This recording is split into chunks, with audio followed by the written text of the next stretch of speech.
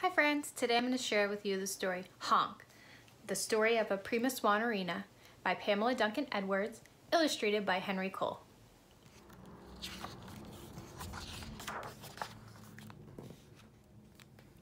Oh no, she's at it again, honked the goose.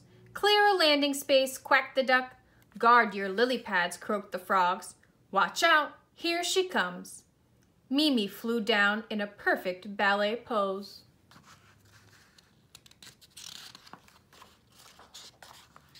Splash! Mimi, cried her friends. Stop doing that. You're driving us crazy. But Mimi wasn't listening. She was whirling around the pond on point. One night, many months before, Mimi had flown to a ledge at the top of the Paris Opera House and had looked through a window. Figures twirled and leaped gracefully across a stage. Mimi had never seen anything so beautiful. After that, she practiced every day because Mimi Swan had fallen in love with ballet. In winter, a new production came to the opera house. Mimi watched with interest. How pretty, she exclaimed. How glistening, how feathery, how amazing. What's up? asked a pigeon. They're all pretending to be me, cried Mimi in delight. They must have noticed me practicing. Probably, said the pigeon. We certainly have. One evening, Mimi watched the audience stepping into the opera house. I wish I could sit inside the opera house, she thought longingly. Then Mimi became excited. Why not, she cried. I'll go in right now. Mimi picked up an old ticket stub and went up the steps. The ticket collector's feet were hurting. She gave a yawn and reached out to take Mimi's ticket. Honk, said Mimi politely. A bird, screamed the ticket collector. What's happening? cried the opera house manager, rushing forward. Honk, said Mimi.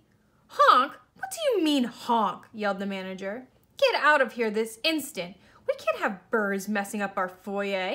No birds allowed in the opera house. Mimi was shocked. No one had ever shouted at her before. A haughty lady and gentleman sauntered toward the opera house. The gentleman flipped his cloak proudly as he passed Mimi. Good evening, your grace. Good evening, milady, said the manager, bowing low. Honk, said Mimi. What a rude noise, exclaimed the lady. The haughty gentleman's ears went red. It wasn't me, he blustered, stepping back into Mimi's beak. Honk, said Mimi. You again, roared the manager. Get out. No birds allowed in the opera house. Mimi was puzzled. There has to be a mistake, she thought.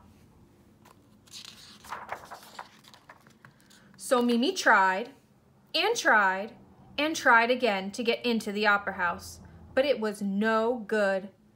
For the last time, bellowed the manager, go away and don't come back. No birds allowed in the opera house. The opera house door slammed shut behind Mimi. Mimi was miserable. Sadly, she wandered into the darkness at the side of the opera house and sank into the snow by the stage door. She didn't feel like practicing ever again. But just then, a figure came hurrying up the pathway, muttering to itself. Oh dear, I'm late again. The manager will be furious. Must hurry. Honk, agreed Mimi, and she padded after the ballerina. As the ballerina and Mimi arrived in the wings, the stage manager called, Cygnets, enter right. Honk, said Mimi happily. Honk, cried the manager. Oh, no. But it was too late. Mimi was on stage. Great costume, whispered one of the dancers. Love the shoes, dear, whispered another. And then the music started. Mimi demi-plied. She danced on point.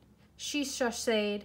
Her feet flew across the floor. She remembered everything she had ever practiced. The audience rose to his feet.